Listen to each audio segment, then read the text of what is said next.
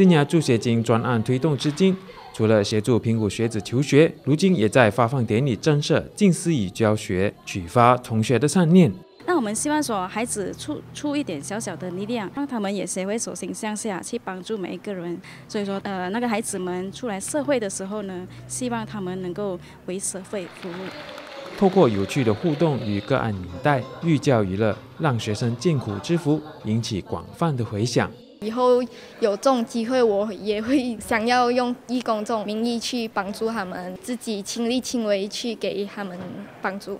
慈济志工走入学生的家里多年，也带动家长开始投入志工活动，开启了爱的循环。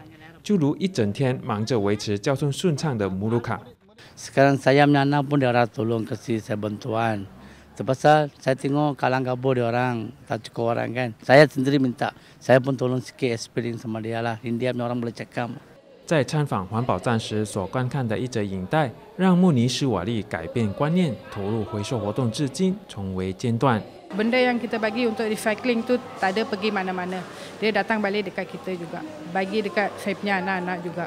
Walaupun saya miskin, tak ada duit, saya tak ada harta apa-apa, tapi saya still boleh bantu orang lain. 穆尼斯瓦利的投入也带动孩子一起行善。平时假日还会赖床的孩子。在环保日当天都会自动起床。